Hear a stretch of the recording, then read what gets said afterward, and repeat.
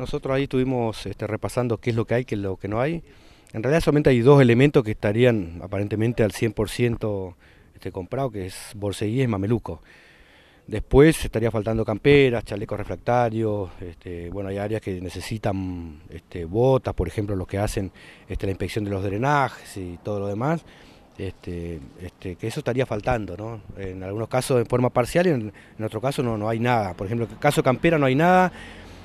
Eh, para salir a trabajar en la recolección se necesita este, chaleco refractario, no hay. Este, en el caso de llegar la campera ya viene incluida con, este, las bandas refractarias, pero eh, no llegaron las camperas, en principio pensaban que iba, podría llegar mañana, dice que enviaron por una empresa este, que aparentemente se tarda un poco más que, otras empresas, entonces este, con suerte sería para el miércoles, si no llega para el miércoles, pues ya viene Semana Santa, estaríamos hablando recién de, del lunes la semana que viene, entonces este, para nosotros entendemos que es un elemento este, imprescindible, la Secretaría este, no puede dictar una conciliación obligatoria este, obligando a los trabajadores a salir cuando faltan elementos este, que hacen a la seguridad y higiene, entonces estamos acá en un problema. ¿no? Hubo hasta la semana pasada este, lo, que entendíamos que fue un show, que es decir que estaba todo comprado y que no se quiso recibir, cuando en realidad ahora nos dicen que bueno, que están haciendo lo posible por ir completando algunas cuestiones y que otras se van a tardar más.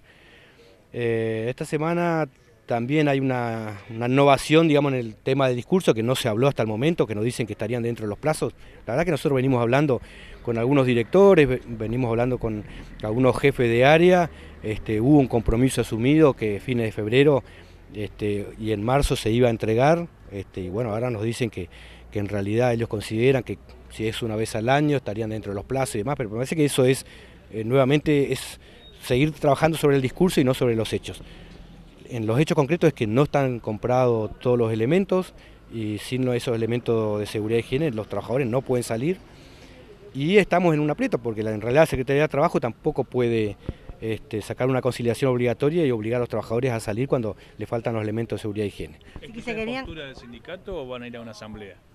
No, no es la postura del sindicato, en realidad es, digamos, son hechos que no podemos cambiar, porque en realidad la Secretaría también está entre la espalda y la pared, porque no puede dictar una conciliación y obligar a los trabajadores a salir sin los elementos de seguridad y higiene. Entonces, eh,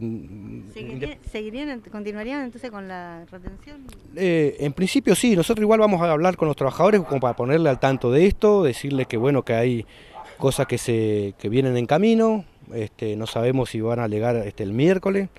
Este, y si no, bueno, ahí decidiremos cómo continúa esto, ¿no? Porque en realidad son eh, hace más de un mes que venimos con esta situación este, y ahora, bueno, el secretario de Hacienda dice, no, que están dentro de los plazos, pero eso no se nos dijo este, hace un mes o, en febrero cuando veníamos hablando con los jefes y con los directores. Nosotros entendemos que si hay un área que, precisa que la entrega dos veces al año de recolección de residuos, este, y sobre todo los, de obras públicas, los que trabajan en la calle y que eh, gastan digamos, los mamelucos y los elementos de, seguridad e higiene este, rápidamente. Entonces, este, eso habrá que reglamentarlo para que queden claros. Eh, nosotros entendemos que si pasa el tiempo y de una vez al año, después pasamos cada dos años, va a llegar un momento que van a entregar cuando se le dé la gana. Entonces, yo creo que es claro que eh, son áreas que necesitan dos veces al año más la reposición en el caso de que se rompa.